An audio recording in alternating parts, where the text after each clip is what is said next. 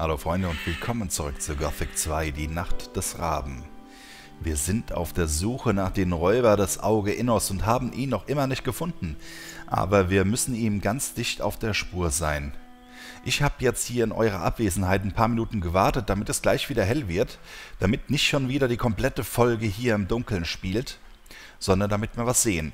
Aber als allererstes will ich mal auf die Karte schauen so, wir sind da nämlich ein Stück vorbei an diesem schwarzen Droll, weiter im Westen. Und da geht es jetzt in eine kleine waldige Fläche, beziehungsweise da auf der rechten Seite, also rechts vor mir, ist noch was. Und das schauen wir uns jetzt an. Ich bin mal gespannt, ob wir hier das Gesuchte finden. Ich weiß es nämlich gar nicht mehr. Es ist schon sehr lange her, dass ich Gothic 2 gespielt habe. Und da habe ich leider auch schon wieder... Ach du Scheiße.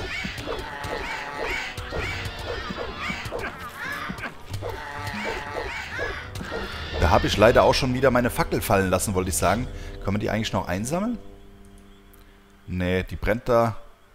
Aber können wir leider nicht mehr einsammeln. Schade. Denn so viele Fackeln haben wir gar nicht dabei. Noch zwei Stück oder so, wenn ich mich nicht verzählt habe. Ich dachte, wir können jetzt hier eine Weile rumrennen. Aber so wie es aussieht, wird es sowieso schon langsam wieder hell. Ist gar nicht so schlimm. Was ist denn da vorne? Nichts zu holen. Ach du Scheiße. Das ist doch ein Suchender, oder? Hm, sollte ich vielleicht abspeichern vorher? Nee, ist egal. Wir sind erst ein paar Meter gerannt hier. Ich gehe da jetzt mal zu dem hin.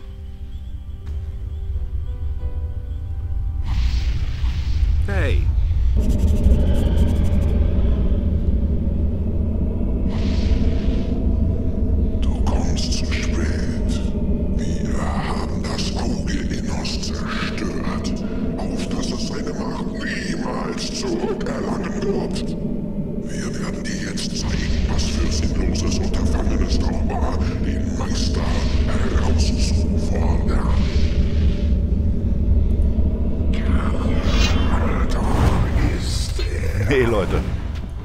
Na super. Drei Stück auf einmal, das ist dann doch vielleicht ein bisschen viel. Wie sollen wir das denn schaffen, ey? Ich lade jetzt nochmal rein. So. Ich habe auch dieses äh, Aufnahmezeichen auf der Seite deaktiviert. Das sollte uns in Zukunft nicht mehr stören. Also das der Videoaufnahme meine ich. Und ich überlege mir gerade, wie wir das hier verdammt nochmal packen sollen. Da vorne sind die Scavenger, das ist noch kein Problem, die hauen wir jetzt gna- gnadenlos um. So, da sind sie. Und da kamen auch noch ein paar Goblins angerannt, glaube ich, vorhin. So, und wo sind die Goblins? Da vorne sind auf jeden Fall wieder die Suchenden. Aber diesmal sind gar keine Goblins da. Verdammt, die müssen ja auch noch irgendwo stecken. Nichts So. Ich höre sie auch schon. Aber ich habe keine Ahnung, wo sie sein sollen. Ja, wie schafft man das denn jetzt? Das sind drei Suchende auf einmal. Da steht doch auch irgendjemand, oder?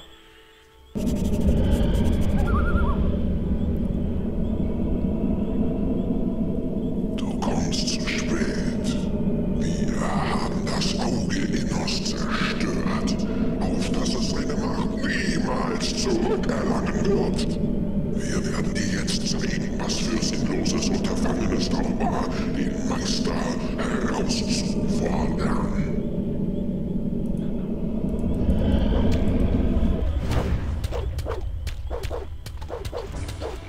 So können wir es schaffen. Also, da ist noch ein Einzelner gewesen. Ach du Scheiße. Fuck you. Zieht ein Schwert, Junge. Es geht schon wieder gut los in dieser Folge hier.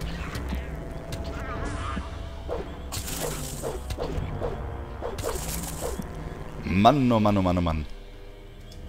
Es geht schon wieder gut los in dieser Folge. So, jetzt werden wir erstmal das Gold mitnehmen. Da ist auch noch ein bisschen was. Toter Novize. Ah. Hab ich gar nicht gesehen hier im Dunkeln. Gut, und ich glaube, das war's. Das Auge Innos ist am Arsch. Und da vorne gehe ich besser nicht hin zu den anderen Suchenden. Das sind drei Stück, die werde ich kaum packen. Hm, ich würde sagen, wir gehen zurück ins Kloster und berichten dem guten, wie heißt der, Pyrokar, von dem, was wir jetzt gerade erlebt haben. Und zwar, dass das Auge Innos kaputt ist. Ich schaue gerade mal, ich renne hier noch mal ein bisschen zurück. Und dann schaue ich mal, ich glaube, wir haben eine Rune dabei, dass wir den ganzen Weg nicht hier zurücklaufen müssen. Machen wir auch jetzt hier an dieser Stelle. So, warte mal. Was haben wir denn für Ruhen dabei? Zur Hafenstadt, zum Kloster. Das legen wir mal auf die Tasse 7. Und ab geht's. Sehr schön, willkommen beim Kloster.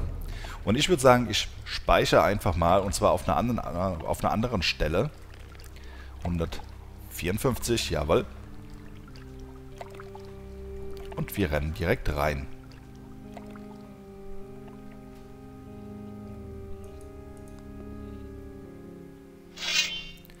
So war das nicht geplant. So war das geplant. Genau. Ich bin gespannt, was der Pyrokar zu sagen hat. Jetzt, wo das Auge Innos zerstört ist.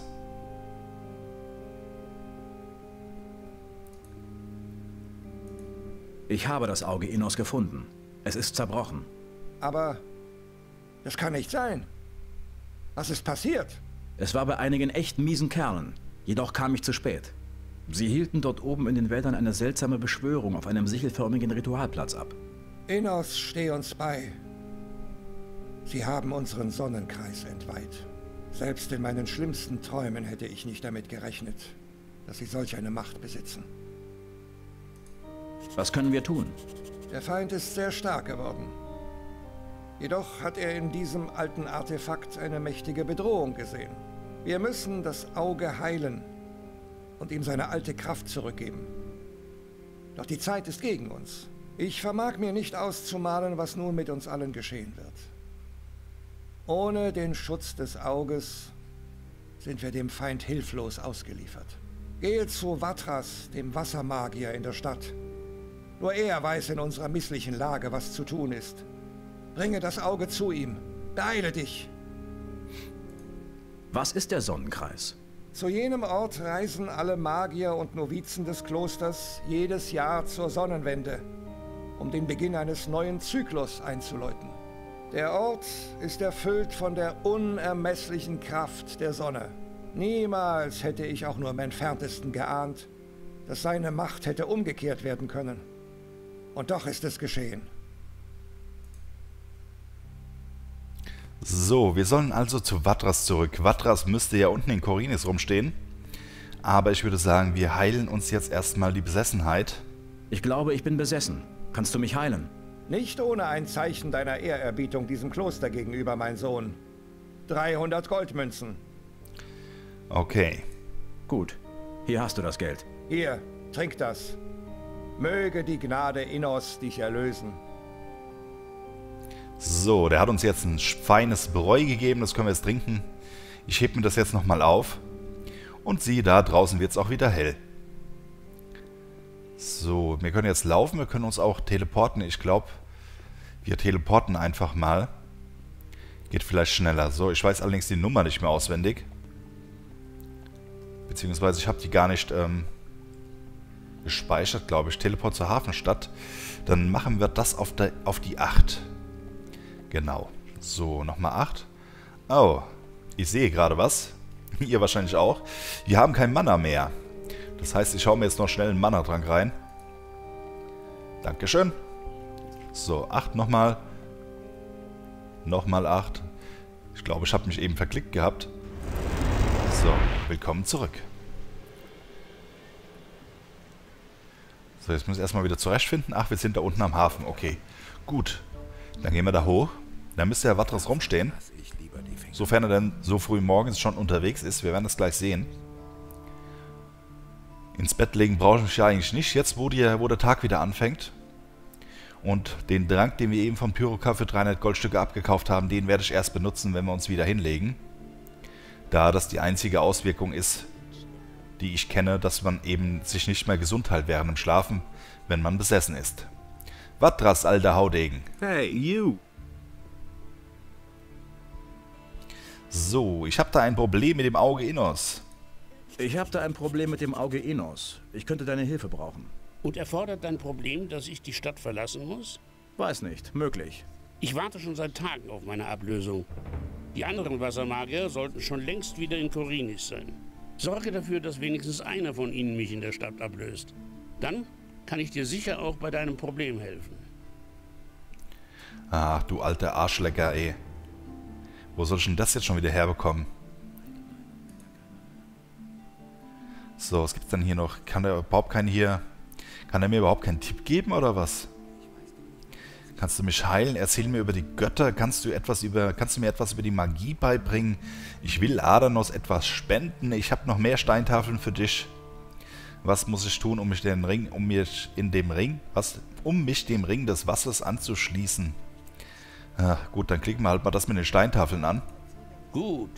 Hier, nimm ein paar Tränke als Belohnung. Danke, mein Bester. So, wir sollen also jemanden holen, der Watras hier ablöst. Hm. Na toll. So, wir haben jetzt hier irgendwo ein Questbuch. Ablösung für Watras. Watras wird mir bei meinem Problem mit dem Auge Innos nicht helfen können, solange kein anderer Wassermagier ihn in der Stadt vertritt. Ja, das ist die große Frage. Wo bekommen wir den her? War da nicht irgendwo noch einer, der da rumstand oder so beim Glas, äh, beim Glaster, ja, beim Kloster? Oder sollen wir jetzt nochmal zurück zum Kloster und dann nachfragen?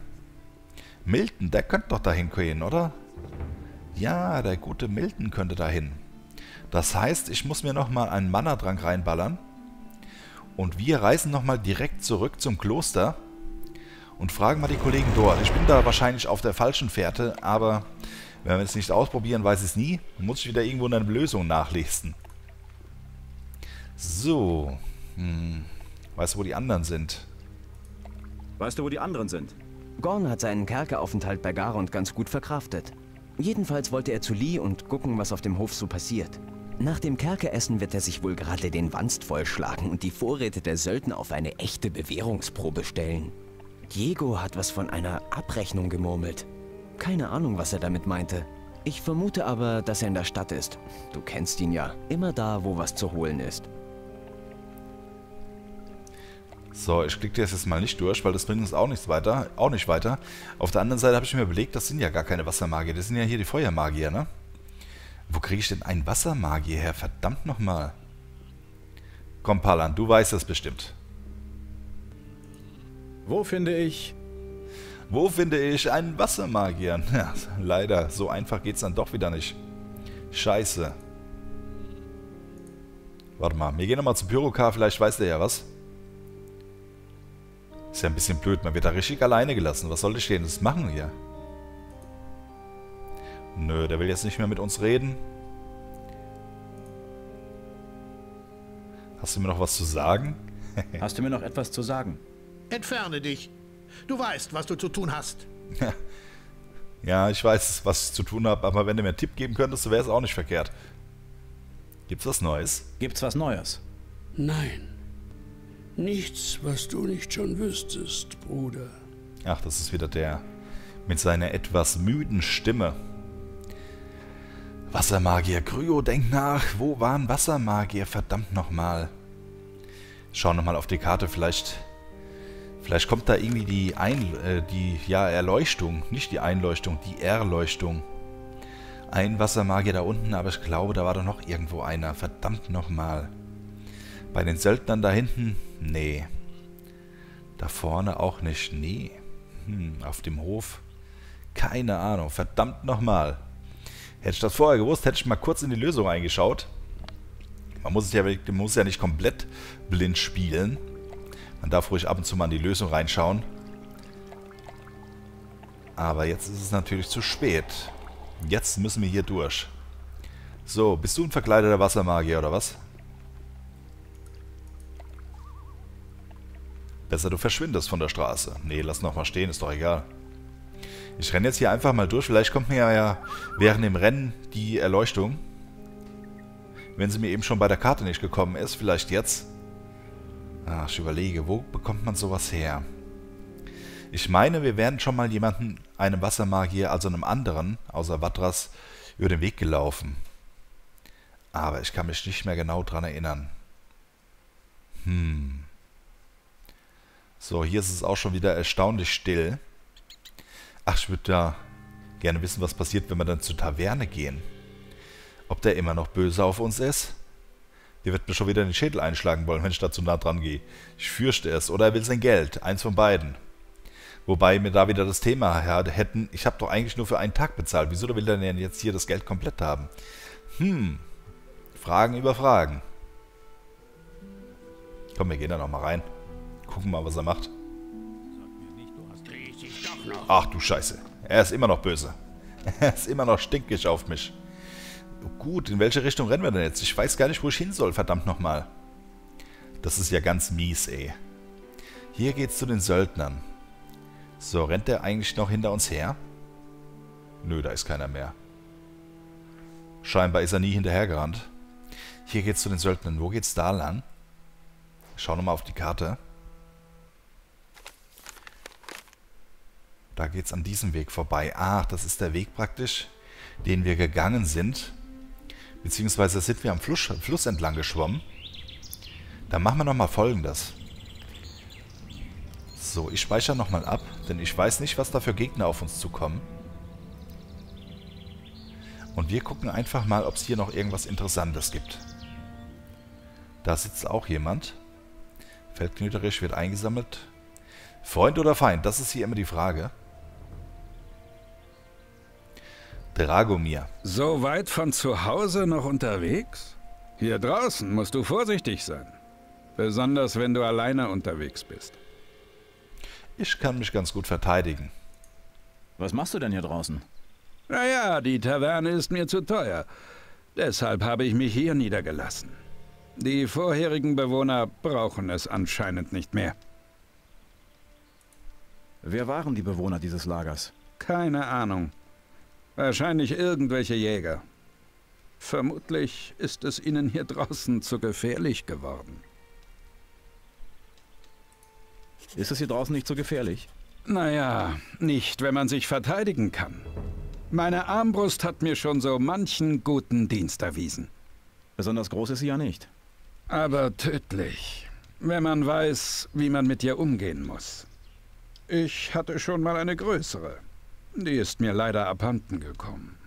Ich hatte mich zu weit nach Norden in die Berge vorgewagt. Es gibt dort einen großen Steinkreis mit einem Opferaltar. Als ich dort oben Scavenger jagte, kamen diese ekelhaften, untoten Wesen aus dem Wald und griffen mich an. Alles, was ich noch tun konnte, war, um mein Leben zu rennen. Dabei ist mir meine Armbrust aus der Hand geglitten. Ich wette, sie liegt noch heute da oben bei dem seltsamen Steinkreis im Norden. Das war aber nicht da, wo wir jetzt am Anfang der Folge waren, oder? Meint der den? Hm. Kannst du mir was beibringen? Bevor ich dir was beibringe, musst du erstmal geschickter werden. Geschickter? Ja, ich wollte schon lange geschickt werden. Und zwar im Umgang mit Dietrichen, damit ich Schlösser aufknacken kann. Was haben wir denn hier liegen? Pfeile, Kurzbogen, komm, lass den mal liegen. Nicht, dass er noch stinkig wird, weil wir hier das Zeug klauen. Da ist schon wieder ein Suchender. Sehr, sehr gut, dass wir unseren Heiltrank beziehungsweise unseren ähm, Besessenheits-Anti-Trank ähm, noch nicht getrunken haben. Da werden wir den nicht nochmal umhauen. Beziehungsweise, wenn ich meine Gesundheit so betrachte, dann sollten wir vielleicht doch nochmal einen Heiltrank ballern. So, jetzt kann es losgehen. Guck mal, der fängt direkt an hier, der Sauhund. Alter, und er hält auch wieder ja ausnahmsweise mal wieder viel aus, der dumme Sack. Unglaublich hier. So, wir nehmen mal die Kohle mit. Sehr schön. Und wir können uns direkt schon wieder heilen, eh.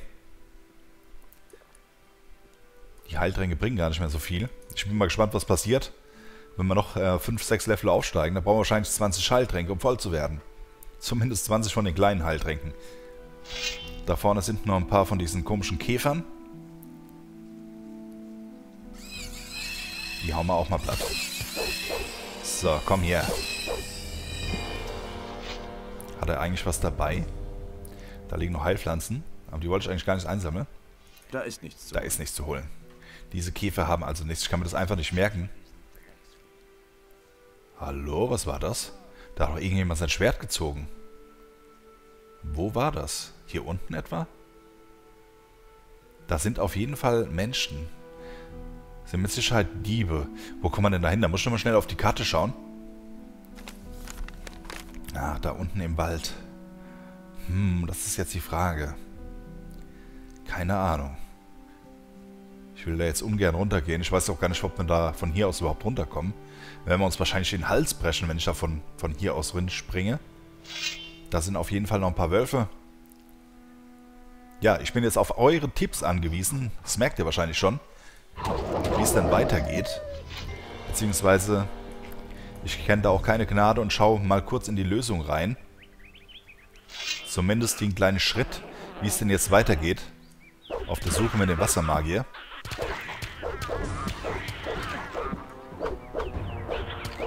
So. Und solange werden wir einfach noch ein paar Gegner rumkloppen.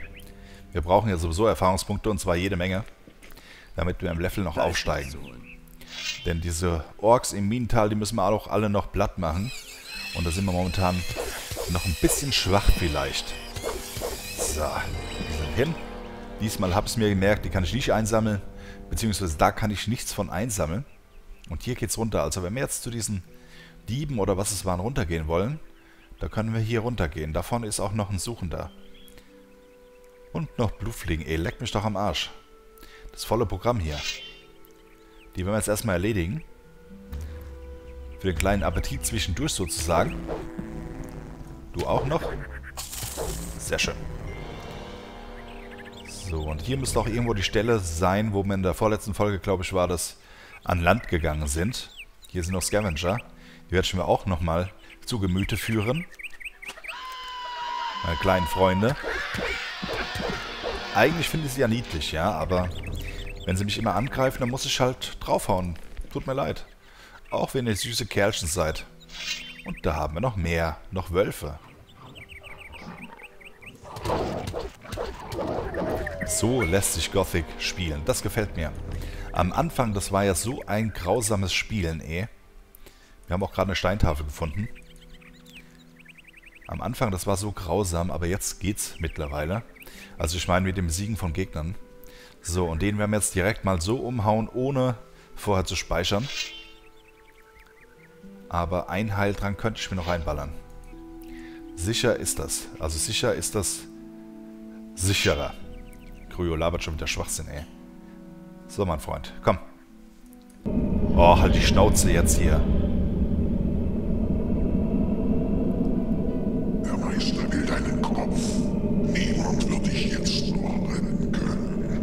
Das haben schon viele vor dir gesagt, mein Freund.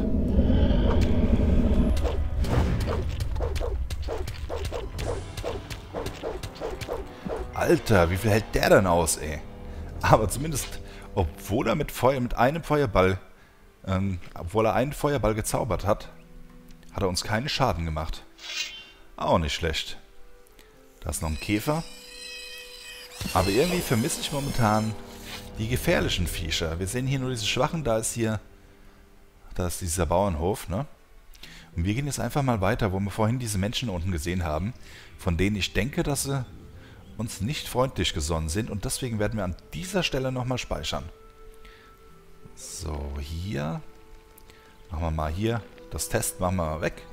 Die 156. Und wir ziehen am besten direkt schon mal die Waffe. Ja, da kommen sie auch an, ey. Die Schweinepriester. Oh, das sind zu viele, ey.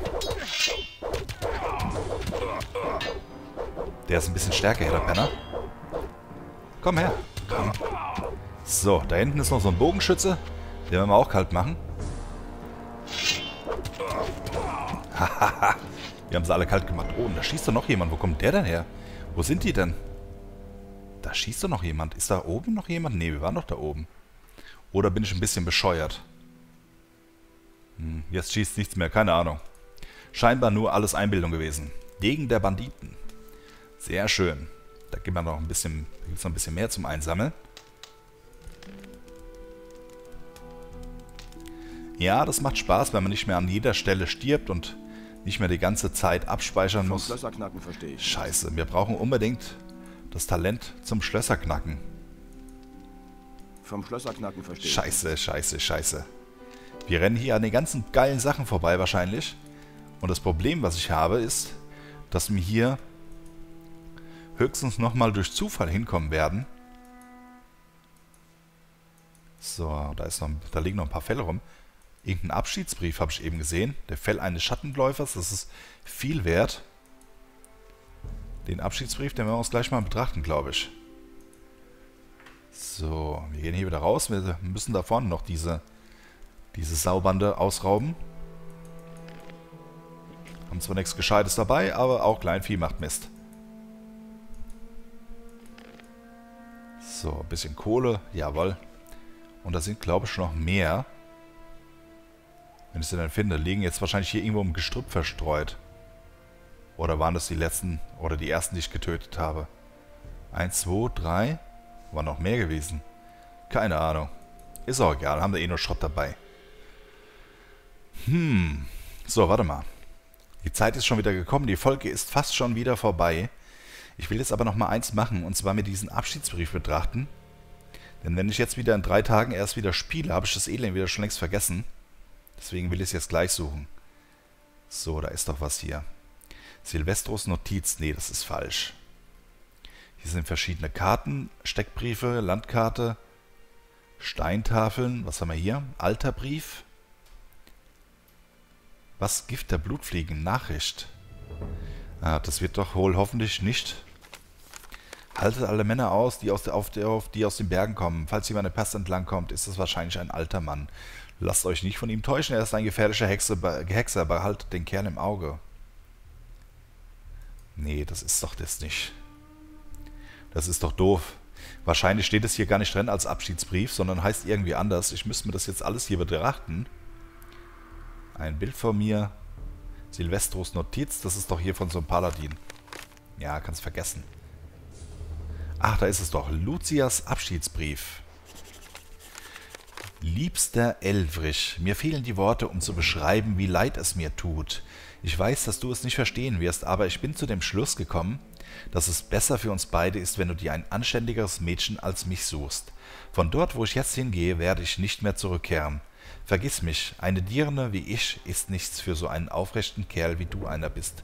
Leb wohl, Lucia. Lucia, wir erinnern uns, da fehlt jemand aus diesem Bordell in Korinis. Gut, wir haben einen Abschiedsbrief gefunden, aber immer noch keine Hinweise, wo denn diese nette Frau hin ist. Keine Ahnung. Also wir haben eine neue Mission, beziehungsweise keine neue Vision. Unsere Hauptmission ist natürlich... Ach du Scheiße. Ist natürlich...